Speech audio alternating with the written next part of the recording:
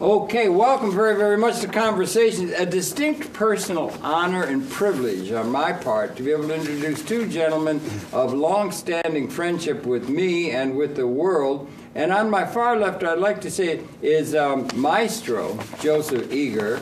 He's the musical director and conductor of the Symphony for the United Nations, abbreviated SUN, and he's also the author of a uh, book uh, called Einstein's uh, Violin. And Joseph, welcome very, very much, Maestro. Very Thank you. welcome. We're going to show a clip of him conducting an orchestra uh, later in the program. And on my immediate left is, an, is a dear friend of mine that I'm so happy has been able to get here to the set in this holiday season of 2010, almost the end of it. But that's Dr. Harry Lerner. He was a long time, he's emeritus president of the Communications Coordination Committee for the United Nations, or CCCUN, which we're going to be talking about because, as I understand it, and I think others would, it's the oldest uh, NGO in support of the United Nations that was started almost after its inception by, I think, Margaret Mead and Buckminster Fuller. And he's the emeritus president of that that carried the ball for so many years. It's an honor, sir, Harry, to welcome you to the program. May I say thank you and also to correct one of your conclusions Yes.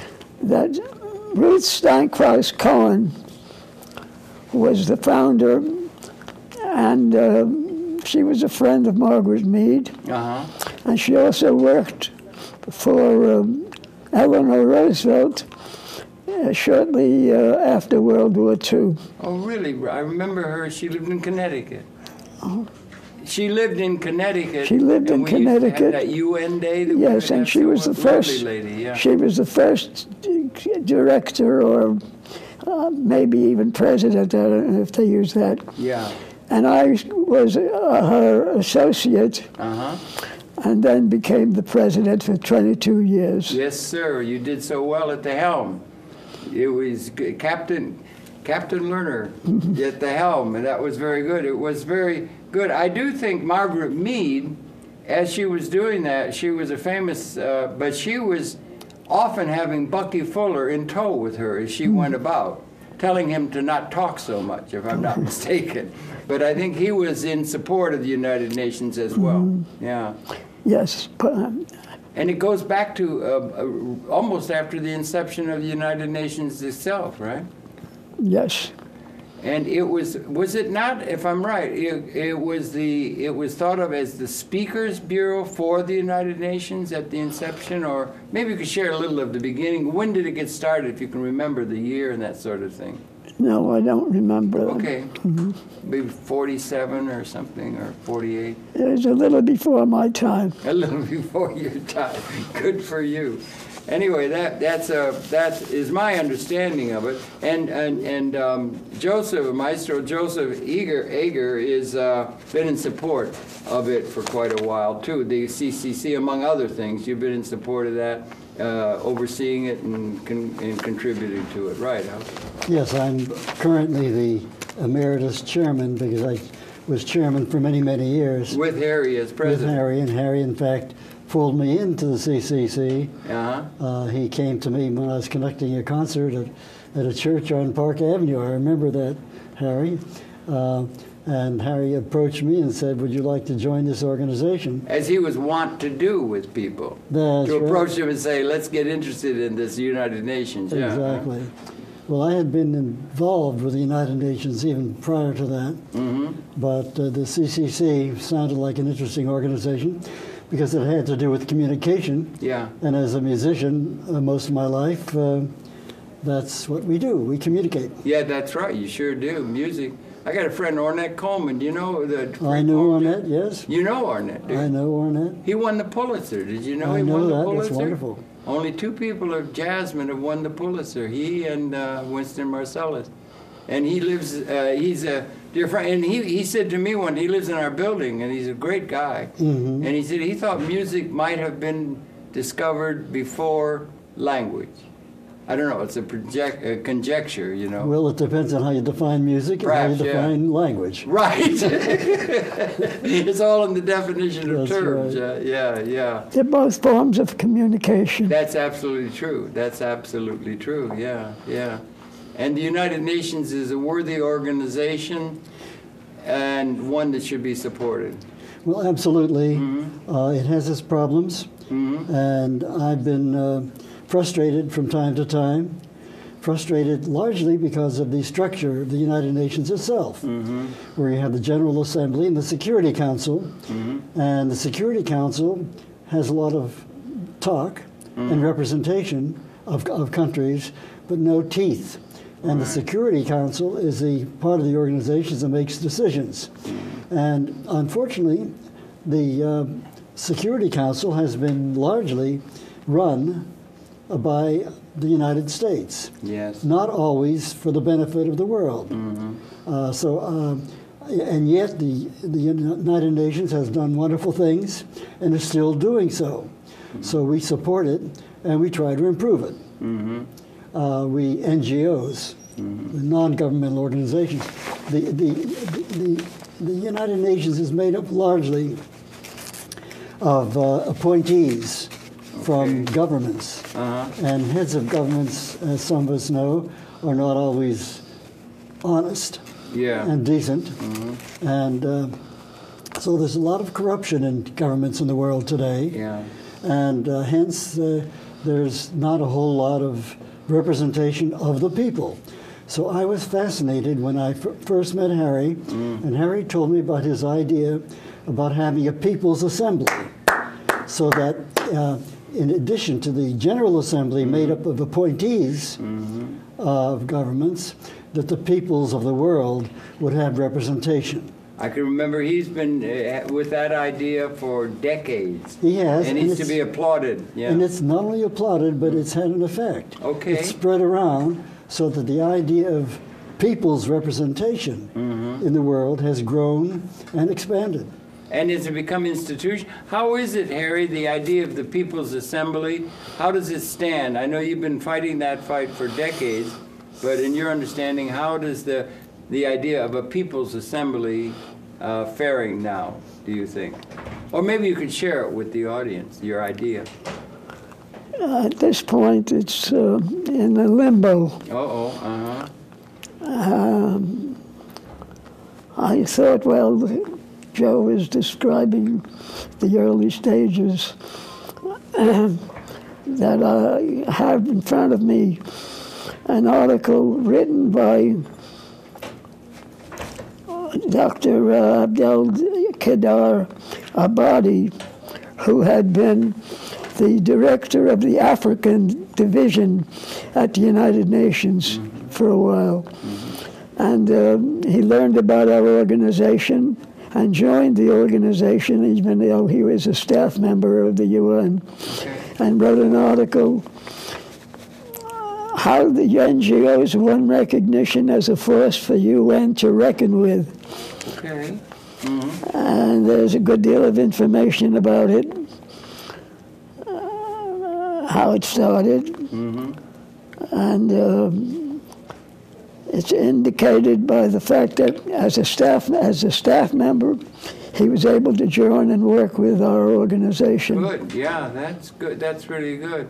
Because I know you've been. uh, I can go a couple decades going back with you. Were a couple decades uh, Yes. going back. I can remember doing programs at the Penta Hotel and other places where we were supporting that general thing. And I always took my hat off to you for for taking that initiative. Yes, we had uh, the uh, s- Assistant Secretary General of the United Nations in charge of uh, uh, communication, who was a uh, keynote speaker at the Penta Hotel, I remember.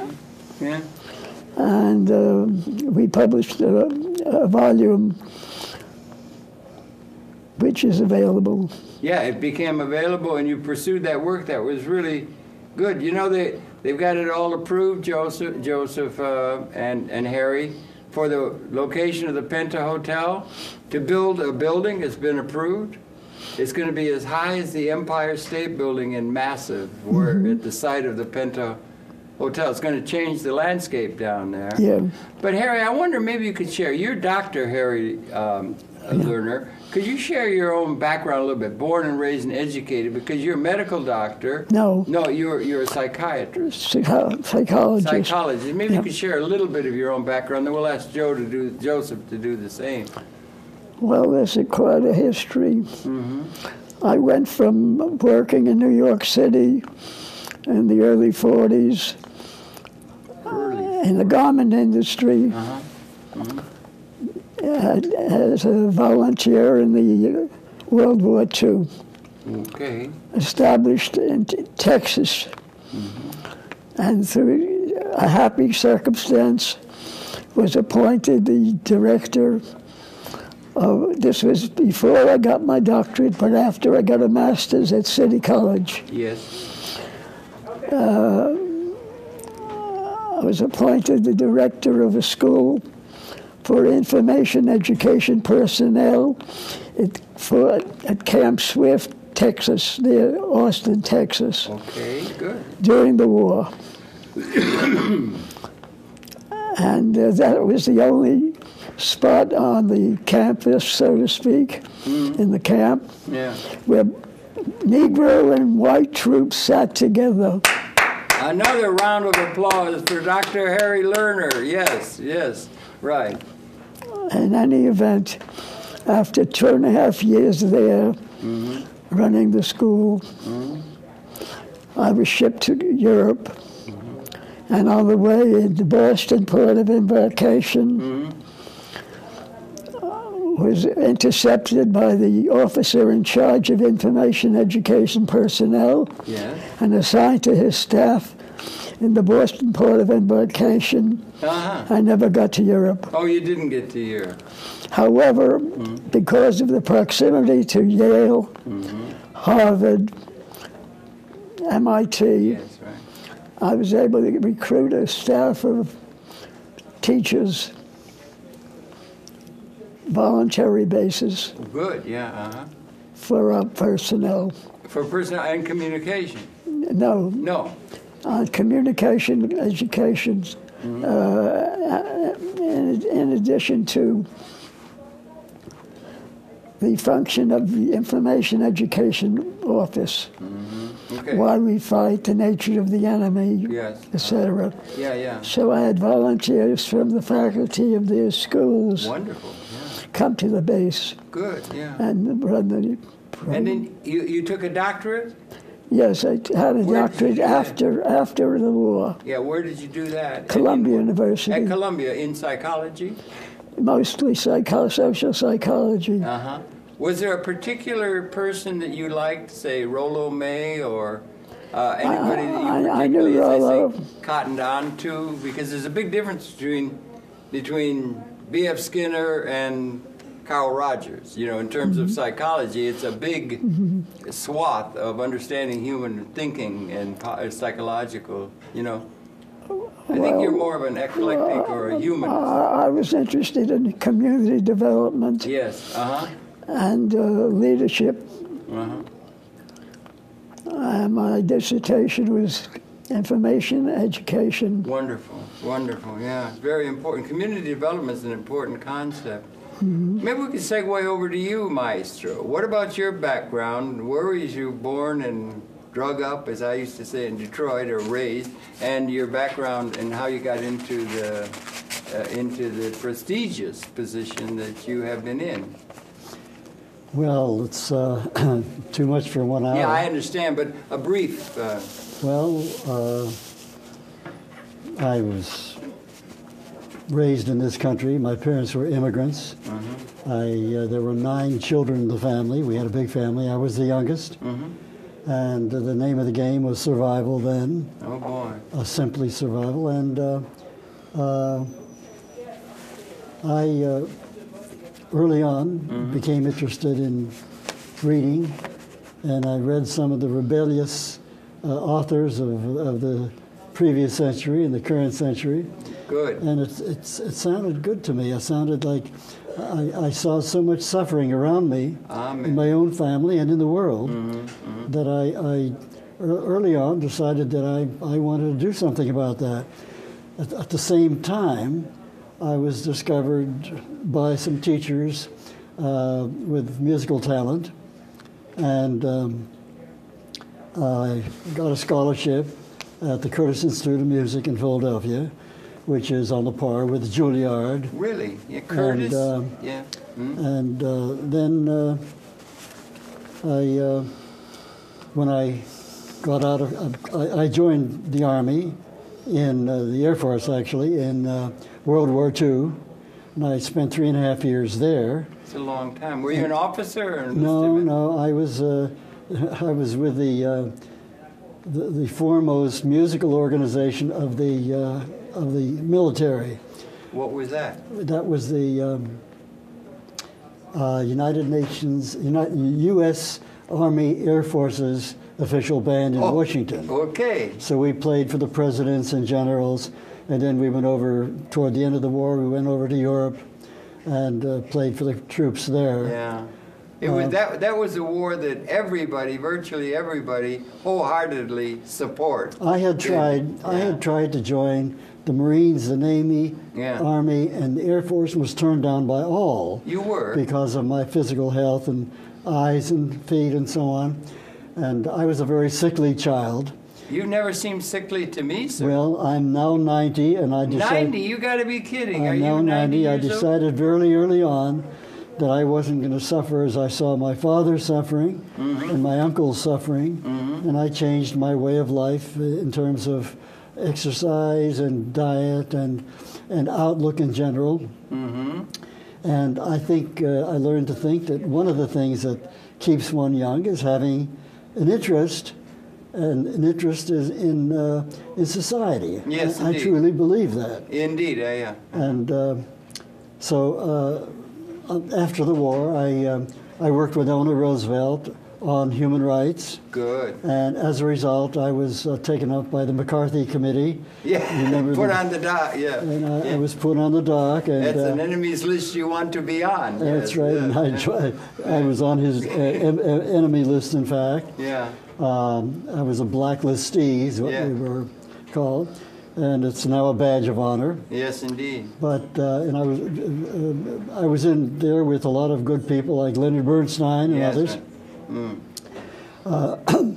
But more recently, uh, I've, uh, I'm still functioning. I conducted uh, uh, the Beethoven Ninth Symphony in uh, San Francisco two weeks ago Uh-huh. with a large orchestra, chorus, and four splendid soloists.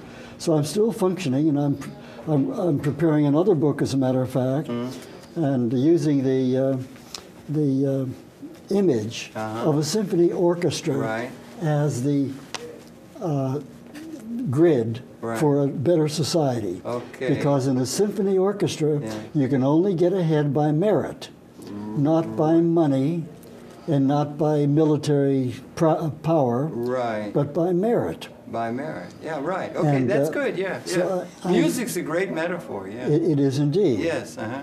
So um, that's what I'm writing about now. Mm-hmm. It's my second book. My first book was commissioned by Penguin. Mm-hmm. I didn't. I didn't. They twisted my arm, in fact, to do it. But once I got, once they offered me a good contract and I got into it, I became very interested. Uh huh. Uh, and the name of the book, Einstein, Einstein's Violin, Why did you get the a conductor's notes on music, physics, and social change. Wonderful. Wonderful. And I'm yeah. most proud of the last part of the book, which is on social change, Uh huh. Uh-huh. in which I outline the present conditions in the world Mm-hmm. and how I think they can be changed. Good for you. That keeps you active. And so, when did Einstein's violin come out? That's about ten years ago. or No, about uh, six, five, six years ago. Five now. or six years ago. Yeah, it's Now, now it can be purchased at Amazon. Right. Yeah. And you can get it for three, four dollars. It Yeah. came out at twenty-seven ninety-five. Yeah. And uh, I did a couple of cross-country tours very successfully, Uh-huh. uh, and in bookstores and in colleges and universities. Right.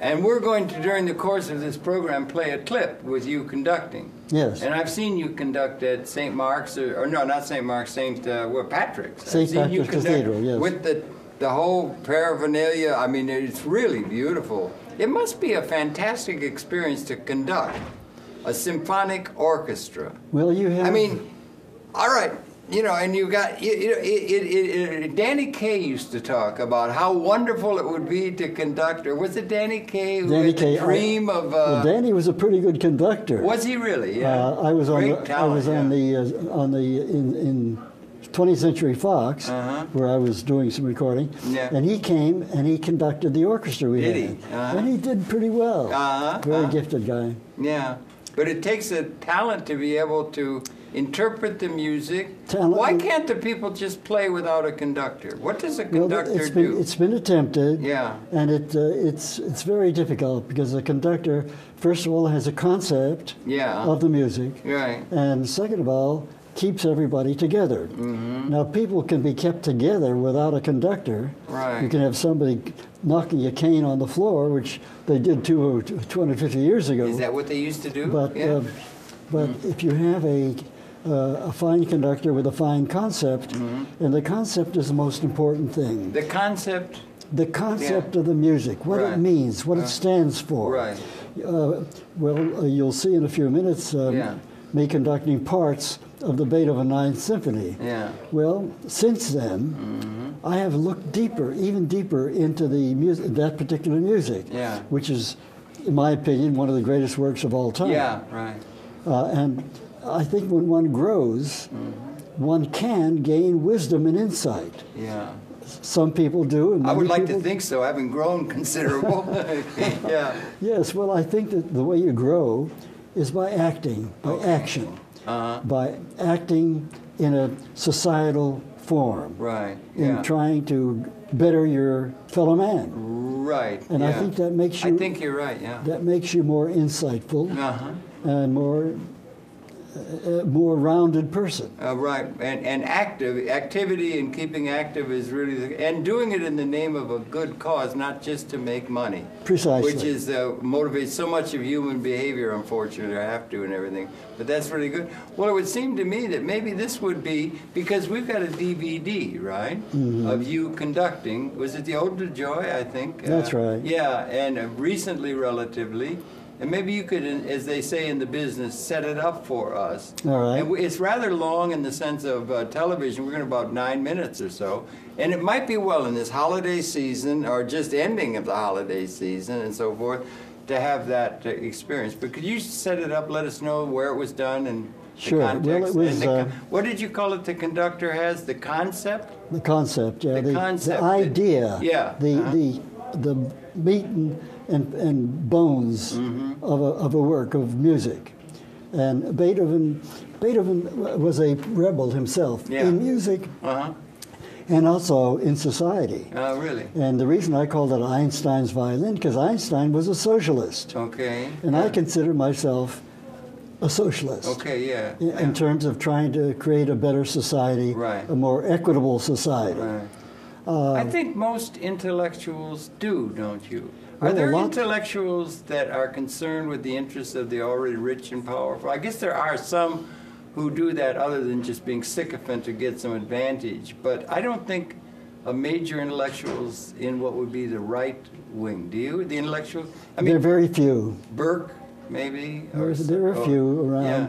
but very few. Most intellectuals are concerned with the plight of the least among us. It seems to me a well, the of that intellectuals. Yeah. are generally interested in facts, Yeah. not in lies. Okay. Oh, that's rules out a lot of the government And much of the And- government- and the corporate structure. There's yeah. a man named uh, there was a man named Izzy Stone, I Ah, Stone, God bless Izzy who Stone. said all governments lie. Yeah. Would we, could we support that also? Not only all governments, but all corporate, because we're we're taken over by a corporatocracy. The private sector isn't all that pristine pure. Exactly. Right, right. Exactly.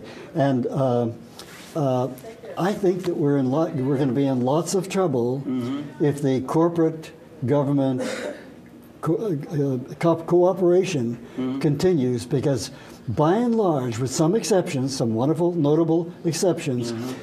They are locked into the bottom line, making more money. Absolutely. And yeah. making more money at the cost Uh-huh. of people of the, peoples of the world, Yeah. at the cost of the very planet Right. on which we live. Thank you. And the weapons are species lethal now, Joseph. I do believe since about 1970. Species lethal, which is a new reality after 200,000 years of That's our right, existence. exactly. And Fuller and others projected we very well may have, about the same time, transcended uh, a, an ontologic, one step removed from normal reality news, Yes. but not to spiritual, but ontologic reality, where we have the ability to see that there are, in terms of capability, more haves than have nots in terms of our capability, and it's trending for the first time in 200,000. It's a it's a major moment of qualitative transformation. It's a point of for. departure in history, in human Yeah. history. Yeah, yeah. Either we're Unique, going to yeah. either we're going to destroy, not we, not you and me, Mm-hmm. but the corporate government uh, elite. Collectively, the home is when, when you get to where you can obliterate the entire species. Mm-hmm. Couldn't do it in the Second World War. We were trying, weren't we? That's right. Couldn't do it. We were impotent, Mm-hmm. but we no longer are. And we're also imp- we're, we were impotent to liberate humanity in the historical condition, and we've crossed the line where that's now possible. So we've got to start talking to that level of things. Exactly. But on the other hand, Yes, sir. there, I think the peoples of the world are being educated by experience, Okay. not by the television, not by reading books, unfortunately, but by their own experience. Mm-hmm. Uh-huh. They're beginning to realize that there's something awfully wrong, Yeah. And they're going to rebel. Uh-huh. So, uh, so there's a. Well, let's hope we can add to that. oh, I hope it can be a rebellion positively. Harry's been serving well that uh, that trend and everything, but it seemed to me if we could, then that's very interesting. But why don't we give the folks a treat and let us see if we can't get that DVD of Ode to Joy being conducted by Maestro Joseph. Uh, um, Egger. uh, Egger and everything. If we could set it up in the booth, let's do that. We're talking with Dr. Harry Lerner and Joseph Eger, uh, Eger the uh, maestro of the uh, uh, conductor, music director of the uh, Symphony Orchestra of the United Nations Sun. So let's see if we can't set that DVD up. I guess it runs about eight or nine minutes. Yeah. And it's a good thing for the holiday season to share that with the people. Indeed. So could we run that, Dean? If you could, if you have a problem, let me know. I bring you the greetings and the gratitude of the Secretary General of the United Nations and of all my colleagues of the United Nations. I would like also to express our deep gratitude to Joe Eger for having taken the initiative in 1974 to take this bold and beautiful step to create a symphony for United Nations which tonight, on the eve of the special session for disarmament, will show us the example of what human harmony can be. It is indeed the great duty of our time to create a number of harmonies which we have not yet attained. The harmony between humanity and our beautiful sacred planet the harmony between all humans, all nations, all cultures, all groups on this planet.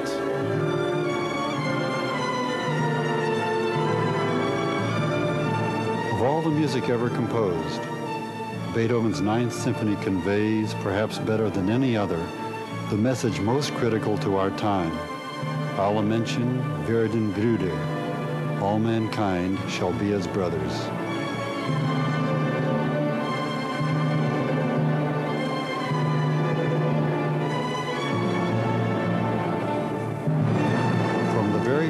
Of this great work, the music conveys a cosmic sweep that reminds us of our history and our potential for nobility.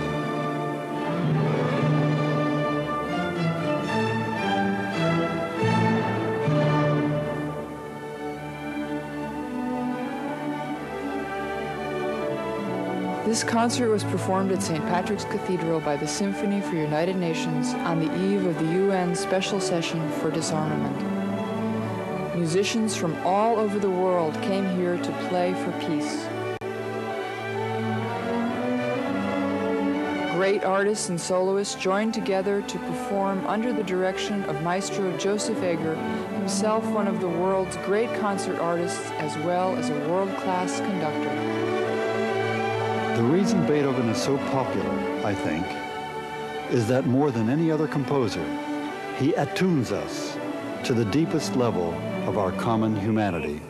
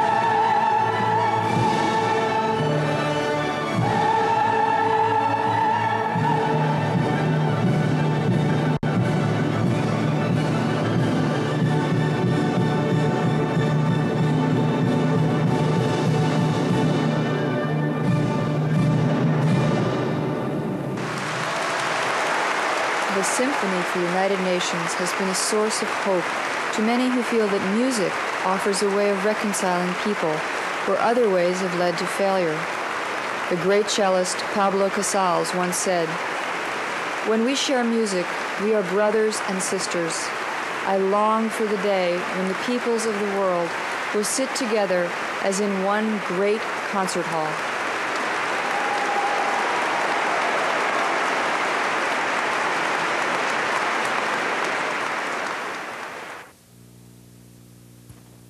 Hey, hallelujah! Welcome. That was gorgeous. Wasn't that beautiful, Harry? Wasn't that beautiful? Isn't he something else? And you're so perfectly the maestro and the conducting and so forth. And you tell me that the language and the language and the words are important. What Beethoven says, he says, hmm. let us no longer have a world of sadness and suffering. Yeah. Let us create a better world, Yes. a better world of joy. Uh-huh. And he says the way to do that is to unite. Alle Menschen all peoples of the world. Alle Menschen. Alle Menschen all That's human German beings For unite. shall unite. Uh-huh. And, and uh, Oh, Beethoven emphasizes the word all. You may have seen at one time I throw my hand up because he emphasizes musically the word Alle Menschen all Mm-hmm. Uh-huh, human uh-huh. beings, Uh-huh. not some, Oh, mensch. Yeah, right. all right. people. Uh-huh. And uh, the words are very significant in this work, Mm. and that's why Beethoven, Beethoven was so inspired by the by the poetry of Schiller. Uh-huh. Yeah, yeah, yeah. Wasn't that beautiful, Harry? Lovely, Isn't that lovely? breathtaking. Do you think Joe's a pretty good conductor? He's okay. Okay, are you kidding? He's great. He's the maestro. That's really good. Thanks a lot for bringing that in and for all the work you've done over that. And obviously, Harry, all the work you've done, I really appreciate it. Got about 20 minutes left or so. Uh, Ode to Joy, all mentioned this kind of thing, we led into that thing saying, we're, did a program with Isaac Asimov. Did you ever know Isaac Asimov? I didn't know him Yeah. personally, but I've Did you read his him? work. I did. Yeah, Isaac Asimov was a great comprehensivist, and he said, he reconfirmed, this is, it's hard. 10,000 generations there's been since Homo sapien appeared. 10,000, that's a lot. And this is the defining generation. The tipping point, as the book says. Tipping point in the name of, you know, in terms of that idea. But isn't it something to have been born into the defining generation in the sense that, as we said before, all I mentioned, good, uh, but we, we, ha- we, we, we, it's like leaving the birth canal Yeah. or something on the order of like punctuated equilibrium. And we're going to come into a new relationship, uh, maybe a liberated relationship to the to the cosmos or something. And to be born into that time is a great privilege, and it's also very Great responsibility. responsibility, but it's also very difficult because these are the most challenging times. We can wipe out the entire species with weapons. Couldn't do that in our time. in our time only. Only. What do you think, Harry? Is it time for there to be some sort of new order in the world that would bring liberation rather than annihilation? What is your thought? Yes. Okay, words of wisdom from Dr. Harry Lerner. Yes, this is the time. Mm-hmm. But he's been fighting so much. How long have you guys known each other, you two? You've Oh, been colleagues for quite a while, huh? Probably close to half a century. No, really? Yeah. That long? Oh, when yeah. did you first? Do you remember the first time you met? Was it in a saloon? Was it in a, a, a peace march, or how did you meet? Or I can think you it was in a church. In a church. That's Yeah. very good. I was doing Fess up, Fifth Avenue and 90th Street. On 90th Street in the city of New York. Yeah. 90th and what? Park. And uh, Fifth Avenue. 90th and 5th. I've got it fixed in my mind. Yeah. 90th and We, 5th. that's when we had a, a, big conference. Uh huh. And I say we. I'm trying to think of the organization. It, I think it was Circle, Circle. Okay. Council for International Recreation, Culture, and Lifelong Education. Okay. Good. Really good. Yeah. Right. Right. So that's just above the Metropolitan Museum, huh? Yeah. Yeah. Yeah. Not the Metropolitan, Art Museum. the Art Museum. Yeah, yeah. Do you remember that, Joe, or is that a Well, I. I, I remember earlier than that. Earlier than that, Yeah. you knew this fellow? Yeah. Okay. I'm- He's I- got you pegged earlier in a saloon, I think. I think Harry. my memory may be faulty. I think Harry's Oh. might, might be better. Uh-huh. But in my memory, Uh-huh. I see a church on uh, Park Avenue, Oh. Yes. Um, a church in Park Avenue Mm-hmm. uh, in the um, 40s or 50s. A nice church on the west side of Park. Right. But You seem to have congregated in churches, young man. Has it been, you know, saloons ever since? I'm not so sure. But, well, wish, I wish we oh, had. if only, huh? Yeah. We, we still have time, Harry. Yeah, we still have time to. Yeah, right. No, that's good. But you've been, you've both been involved in the peace activists and, and so forth, and the communication, co- uh, the committee for coordinating the United Nations is very important, and you've held that helm for such a long time. Uh, how do you feel about the United Nations since you became interested in it in a serious way, and currently?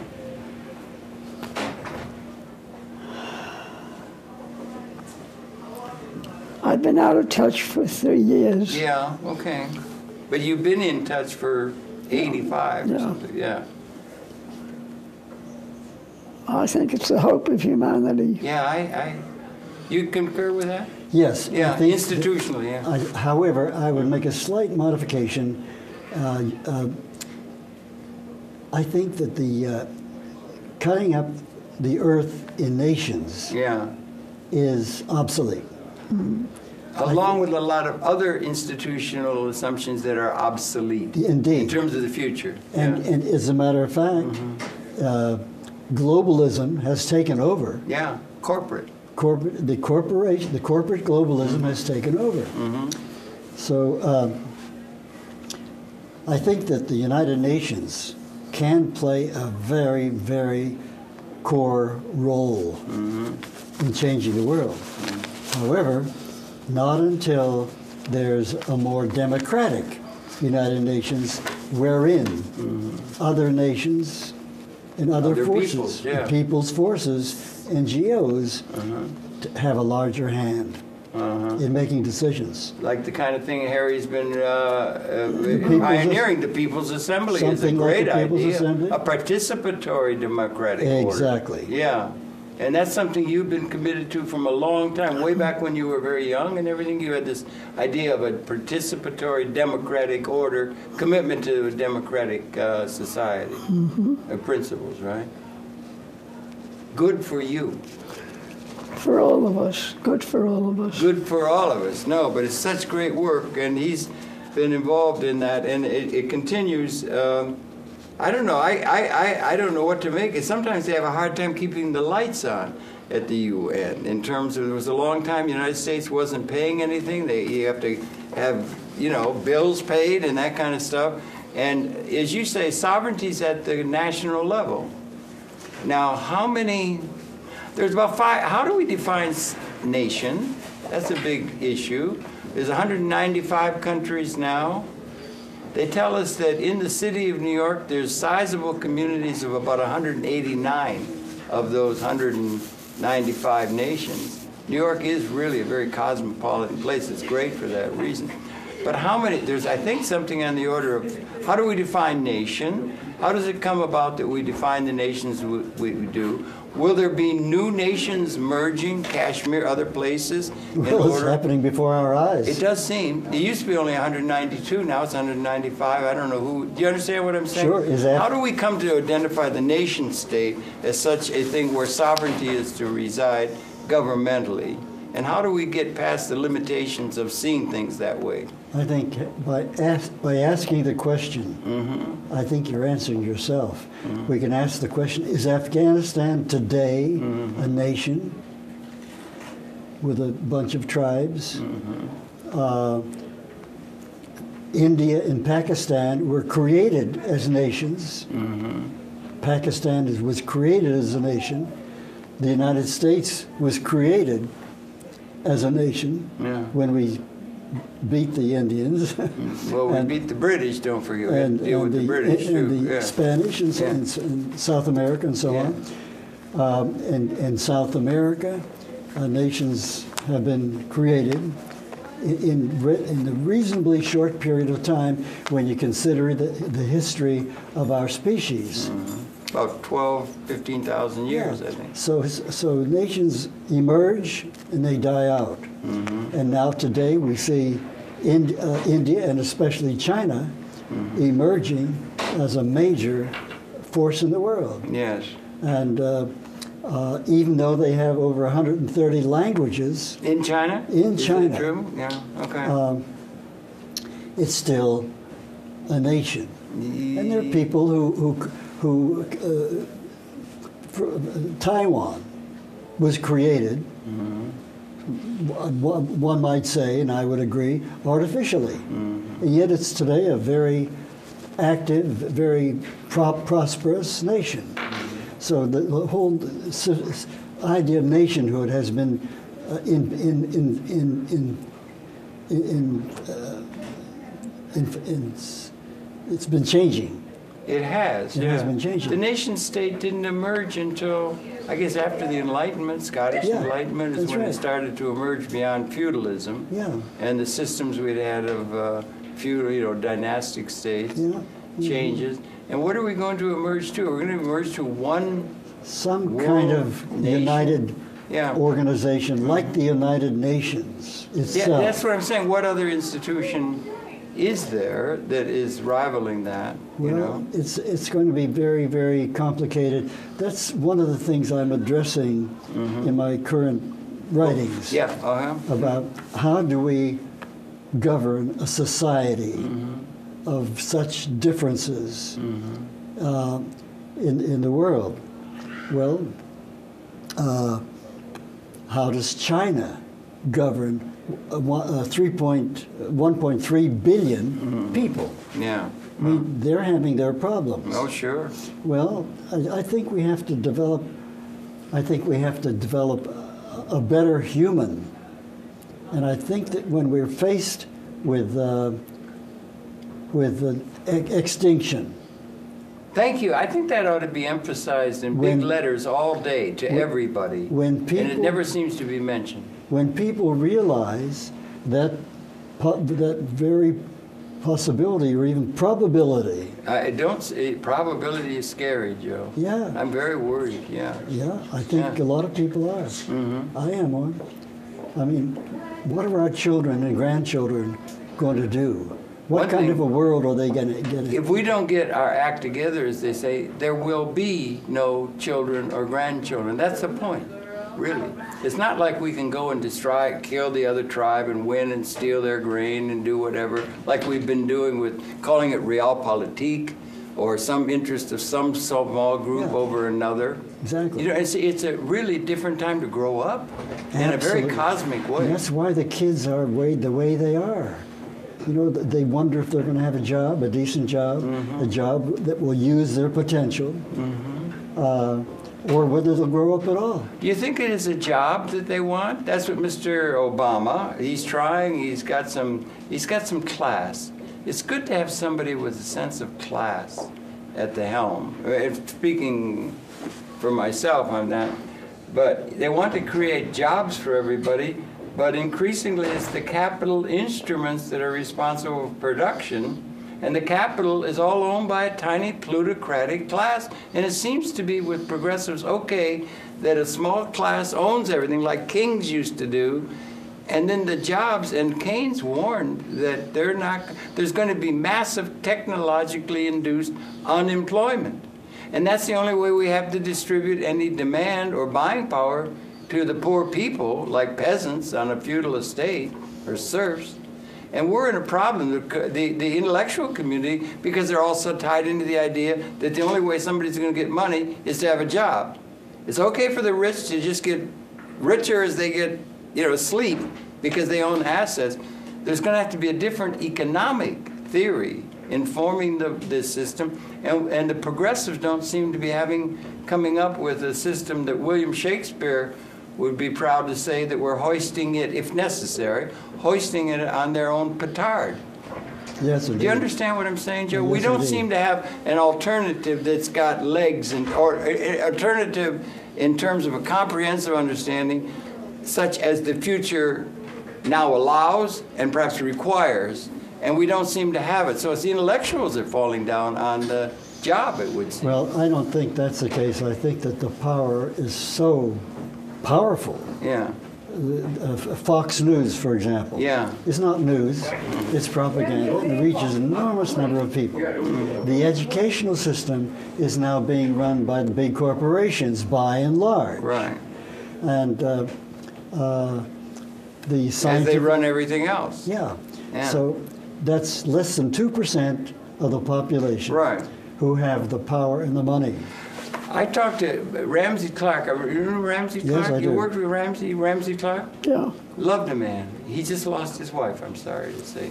He lost his wife. She passed. Oh, I'm sorry. to hear 48 that. years. She's a lovely lady. I'm really sorry because he's done so well. But Sarah Flounders and people who work for him uh, said that uh, the concentration of the wealth is greater in this country than it was in 1789 France.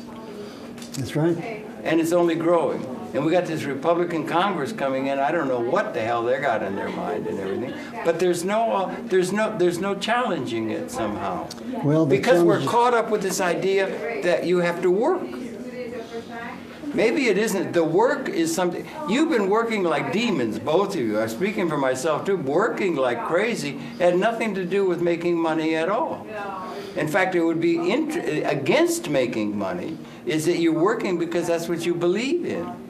So if people had an alternative way of having money, uh, I mean having income, then as a, as a national order, then it could free them to do what it is they want to do, like conduct an orchestra or build a great uh, social movement or something, rather than being slaves or like serfs to those who own everything. And it's okay for them to own everything, even though, and that's where the production is taking place with cyber. You get an algorithm can displace 500,000 people, and you can't keep trying to get Lily Tomlin to plug in. Do you understand what I'm saying? Mm-hmm. And we don't have an alternative because we're tied up with the labor theory of value.